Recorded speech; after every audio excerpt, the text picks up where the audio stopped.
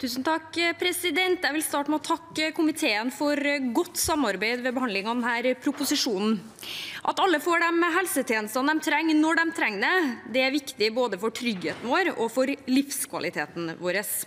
For å sikre gode helsetjenester så er vi avhengig av trygt og sikkert medisinsk utstyr. Og det er kanskje sjelden vi har vært mer bevisst på det enn hva vi er akkurat nå.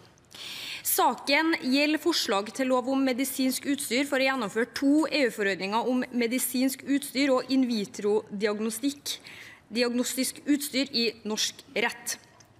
Gjennom dette regelverket styrker vi pasientsikkerheten ved at trygg og sikker bruk av medisinsk utstyr fremmes.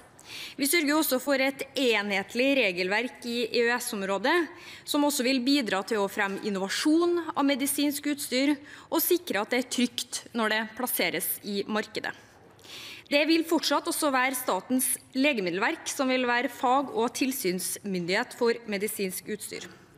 Det er et flertall i komiteen som står bak forslaget til lov og gjennomføring av forordningene i norsk rett. Arbeiderpartiet, Senterpartiet og SV har fremmet egne forslag i innstillingen, som jeg regner med at de vil eh, ta opp og, argumentere for på egen hånd.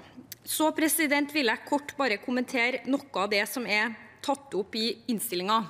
Det er flere som har tatt opp spørsmålet om det vil skape uh, usikkerhet knyttet til egentilvirkning av utstyr i sykehus.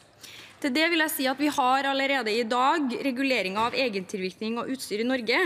Gjennomføringen av disse forordningene i norsk rett vil ikke medføre noen særlige endringer fra de nasjonale reguleringene vi allerede har, og norske helseinstitusjoner vil være i stand til å oppfylle de kravene som stilles.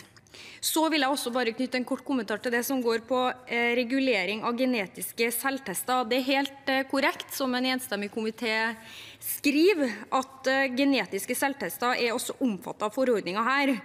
Men det denne forordninga regulerer, er når noe kan omsettes på markedet, hva som skal til for at en test er godkjent. Men om testene skal brukes eller ikke, det vil også, som komiteen også påpeker, reguleres av bioteknologiloven.